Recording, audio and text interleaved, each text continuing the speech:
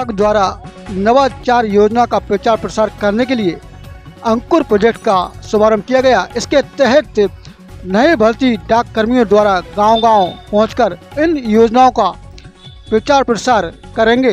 इसका आज एक होटल में post master general Madhya Pradesh मंडल द्वारा शुभारंभ किया गया।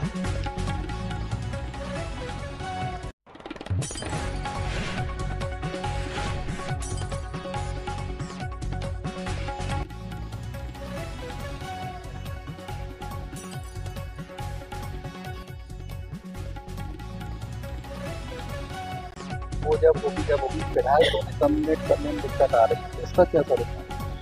नहीं, वो तो ट्रेनिंग ही है प्रोफेशनल ट्रेनिंग और स्किल के द्वारा ही किसी भी कर्मचारी को अच्छा बनाया जा सकता है।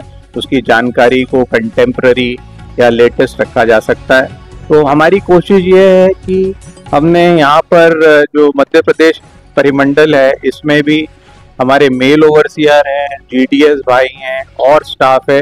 उसके ट्रेनिंग कार्यक्रम आयोजित किए हैं। छोटे छोटे मॉड्यूल्स हैं। सारे जो नई हमारी सर्विसेज़ हैं, उसके बारे में जानकारी दी जा रही है। इसके अलावा हम ये आग्रह करते हैं कि फिजिकली हमारे जो मेल ओवरसियर हैं, गाँव में जाएँ। चार पाँच जो ब्रांच पोस्ट ऑफ़िस हैं, उनके ब्रांच पोस्ट मास्टर और G D S A B P M लोगों को इकट्ठा करके उनको जो नए प्रोडक्ट और सर्विसेज़ हमने पीछे दो तीन साल में इंट्रोड्यूस किए हैं या टेक्नोलॉजी जो तकनीकी के माध्यम से आज सारा ऑनलाइन सिस्टम हमने डेवलप किया है, लोगों के खाते खोले जा रहे हैं, उनके बारे में अधिक से अधिक जानकारी और स्किल दिया जाए।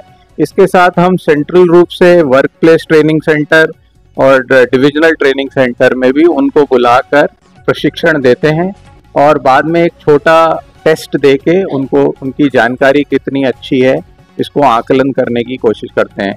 तो इन सारी सुविधाओं के साथ और जैसा कि मैंने अभी और बताया कि हिंदी भाषा में वो कम्युनिकेट कर पाएँ गाँव के लोगों से बात कर पाएँ और उनको बता पाएँ कि किस प्रकार की सेवाएँ इसका प्रशिक्षण दिया जा रहा है। ये अब ऐसा नहीं हो सकता कि इनका जो सिलेक्शन है वो क्षेत्रीयता के आधार पर हो जाए तो ये समस्या ही सॉल्व हो जाएगी।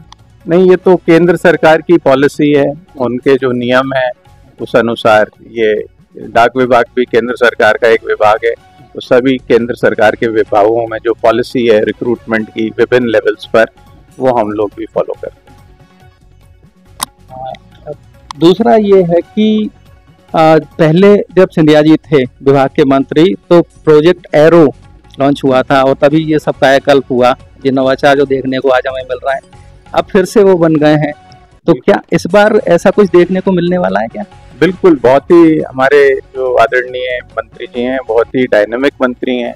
लगातार उन्होंने पूरे विभाग का जायजा लिया है और नई सेवाएँ स्कीम शुरू करने की कोशिश कर रहे हैं।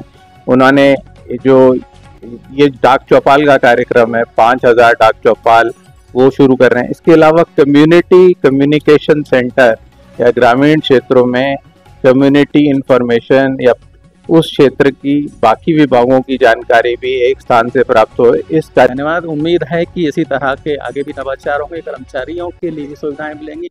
लोगों का जिस तरह से भरोसा है वो और बढ़ेगा और डाक विभाग कहीं ना कहीं जिस तरह से ऊंचाइयों को छू रहा है वो और ऊंचाई पर पहुंचेगा। नमस्कार मैं नीति त्रिपाठी ठाकुर के साथ। राजविलास पैलेस, गुना।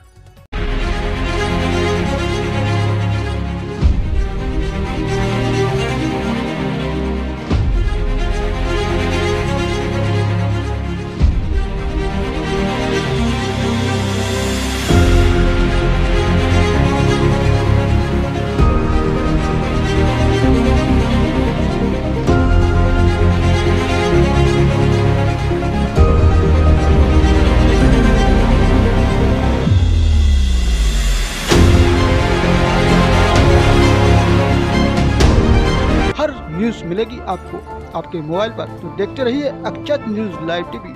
अपनों के साथ सबसे पहले सबसे सटीक